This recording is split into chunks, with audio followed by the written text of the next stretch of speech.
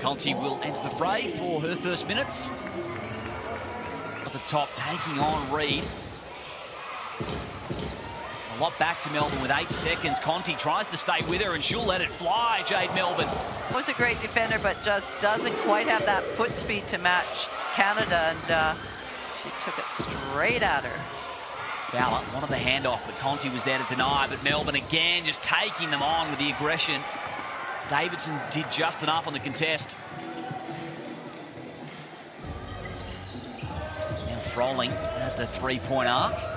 Just five seconds now for the Boomers to work with, and Conti is going to have to draw something up. Tell you what, that is a lot of poise for somebody that hasn't played a lot of minutes so far this season. That clock was ticking down, the crowd, the players are letting her know, and she showed a lot of poise to get a really balanced shot up. And a man working at the moment for the Caps because they can't get a clean look at it, and this time they clean up the glass via Melbourne. Has Conti ahead. Did well to slow her up.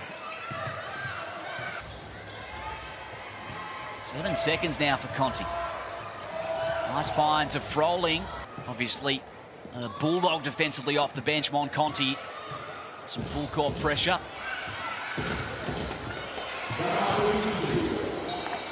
Nearly the turnover as well. Just got a fingertip to it, did Con Jade Melbourne. Off the dribble, finds her spot.